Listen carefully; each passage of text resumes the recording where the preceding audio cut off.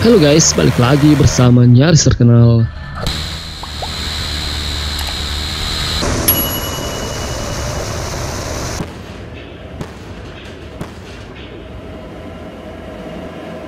Di tengah ketegangan yang semakin meningkat dengan Ukraina, militer Rusia justru menggelar latihan perang besar-besaran di wilayah Laut Baltik. Rusia seakan tak menggubris sikap Amerika Serikat dan sekutunya dalam Fakta Pertahanan Atlantik Utara atau NATO. Dalam laporan yang dilansir FIFA Militer dari kantor berita Rusia TASS, setidaknya 20 kapal perang Angkatan Laut Rusia bergerak ke Laut Baltik untuk mengikuti latihan tempur. Puluhan kapal perang Rusia melancarkan serangan bom ke sejumlah titik di wilayah tersebut sejak Senin 24 Januari 2022 lalu.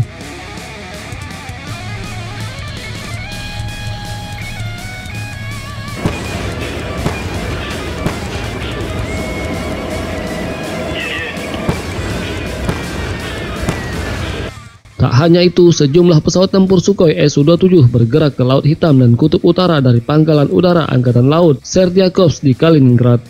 Pesawat tempur andalan militer Rusia melakukan serangkaian uji coba pengaboman di sekitar Laut Hitam dan Kutub Utara. Aksi militer Rusia ini disebut sebagai bagian dari persiapan latihan besar-besaran yang akan digelar bersama militer Belarus pada Februari 2022 mendatang. Meskipun di sisi lain Rusia kerap membantah pengerahan armada perangnya bukan untuk melakukan invasi ke Ukraina.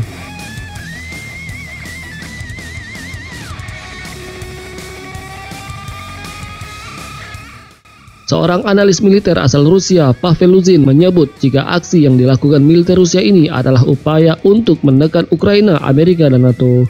Luzin juga meyakini jika langkah Rusia melancarkan perang urat syaraf dengan negara-negara barat tak cukup kuat jika hanya mengandalkan senjata nuklir.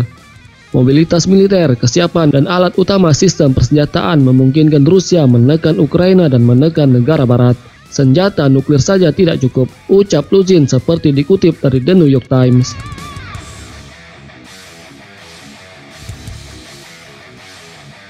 Sementara itu, Amerika Serikat berencana untuk mengerahkan banyak pasukan militer di negara-negara Eropa Timur atau di depan pintu Rusia. Kenekatan Amerika ini mengabaikan kemarahan Moskow yang sejak awal menentang ekspansi militer NATO ke wilayah timur. Presiden Amerika Joe Biden mengatakan pengerahan lebih banyak pasukan akan terjadi dalam waktu dekat. Pengumuman itu disampaikan Biden saat memberikan pembaruan tentang situasi di Ukraina setelah dia keluar dari pesawat Air Force One pada Jumat malam waktu Washington. Ditanya tentang apakah dia telah memutuskan seberapa cepat dia akan memindahkan pasukan AS ke Eropa Timur, Biden mengatakan itu akan terjadi dalam waktu dekat.